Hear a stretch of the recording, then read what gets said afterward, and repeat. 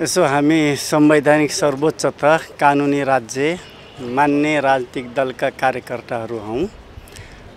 कुनै व्यक्तिको विषयमा या दलको विषयमा प्रश्न उठिसकेपछि त्यसको त्यो व्यक्ति स्वस्थ जवाबदेहिता हुनुपर्छ।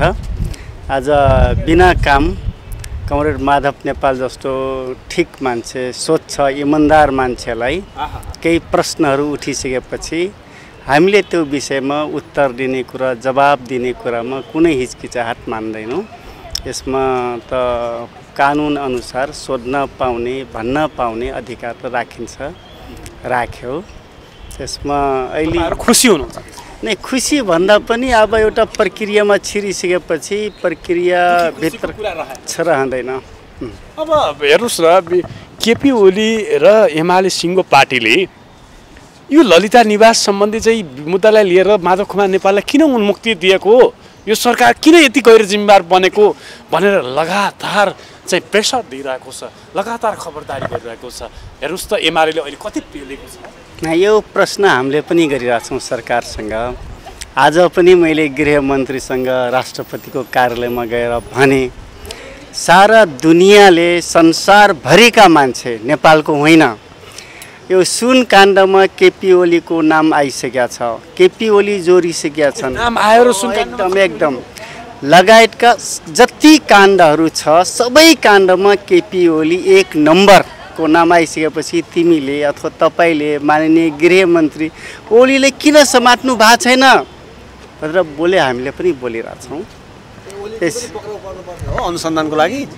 पक्राउ पर्ने भने चारै समातिँदैछन् त्यो कारणले प्रत्येक दिन सदन अवरोध गर्ने अनेक बाहना निकाल्ने अनेक कुरा गर्ने काम गरिरहेछन्। समातिनी समातिन्छ भनेर यो खालका बखेरा झिकिरहेछन्।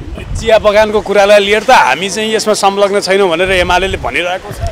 अनि होइन भने क्याबिनेटको निर्णय केपी ओली प्रधानमन्त्री केपी ओलीको मान्छे भूमि सुधार मन्त्री त्यो क्याबिनेटले गरेको निर्णय अनि केपी केपी ओली दोषी नभएर अरू तपाईँ दोषी रहनुहुन्छ त? त्यसले दोषी केपी ओली नै हुन्। केपी ओली समातिनुपर्छ केपी ओलीलाई अनुसन्धान गर्नुपर्छ।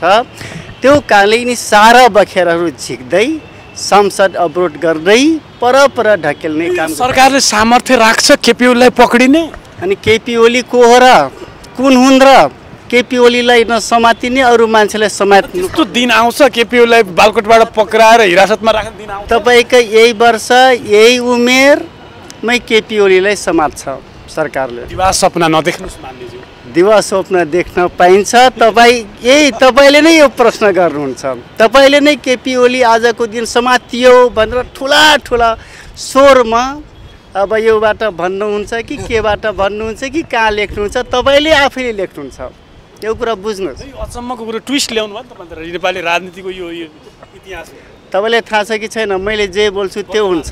मैले जे बोल्छु त्यो हुन्छ त्यो नै राजनीतिक कोर्स त्यसरी नै अगाडि बढ्छ। यति चाहिँ बुझ्नुहोस् है। प्रमुख प्रतिपक्षी दलको नेता संसदको दोस्रो चाहिँ ठुलो राजनीतिक शक्तिको चाहिँ अध्यक्ष। यो चाहिँ पूर्व प्रधानमन्त्री। सम्भव छ यो? हिजोको गृह मन्त्री हिजोको गृह सचिव त समातिँदैछन् भने हिजोको प्रधानमन्त्री समातिँदैन त्यो बुझ्नुहोस् उनको पालो आइसकेको छ। पालो आइसकेको छ। यति बुझ्नुहोस्। मान्छे हाँस्न सक्छ नि यो तपाईँ कुरा सुनेर। मान्छे होइन।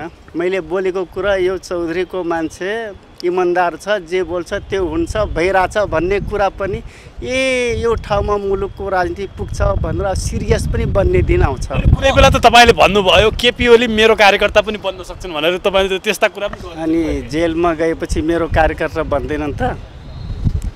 फ्याक्ट इन्फर्मेसन नै आएको हो कि? यसो अनुमानको भरमा बोलिरहनु भएको छ। होइन।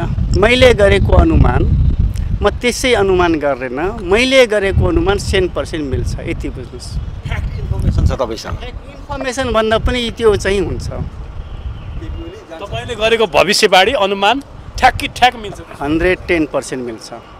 ए यति बागेश्वर बाबा धीरेन्द्र कृष्ण शास्त्री भन्दा तपाईँ कडा हुनुहुन्न म त्यो के हो तर के हो भने एउटा नलेज भएको मान्छेले राम्रो क्यालकुलेसन चाहिँ गर्न सक्छ। म यति चाहिँ भन्न सक्छु।